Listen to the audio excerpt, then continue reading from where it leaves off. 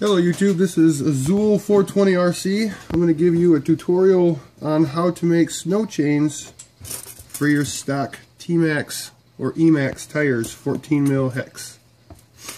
What you'll need for this is I use 20 feet of number 16 jack chain. This is zinc. You can use steel if you want.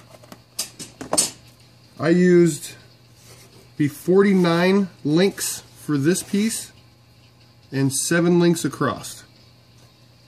Each one of these is spaced 3 away, 3 apart. See there's one, two, three, and then there's a new link. Then all you got to do is just link them together.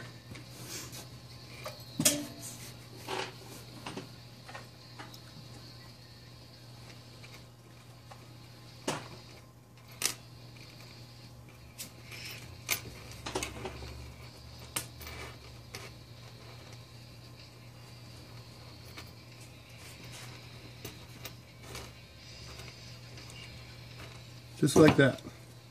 Then you'll just crimp them up and then you're good to go. I'll finish it off and then I'll show you the finished product. Hey, welcome back. The magic of television. Woo!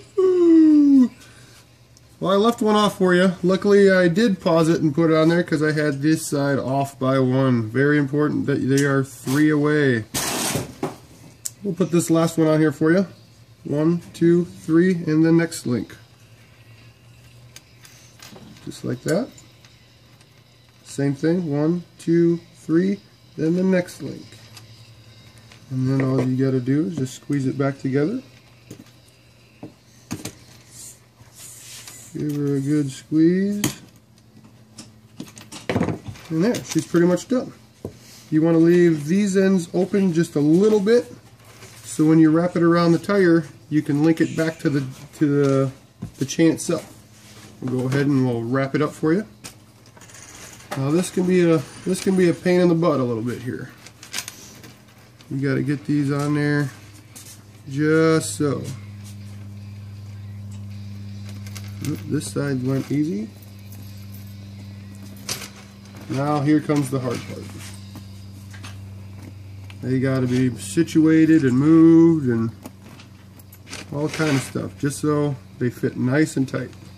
Gotta give her a little bit of a stretch. Sit them around. Situate them a little bit.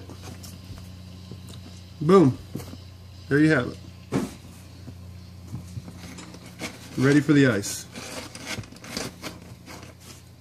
This is a Azule 420 RC coming at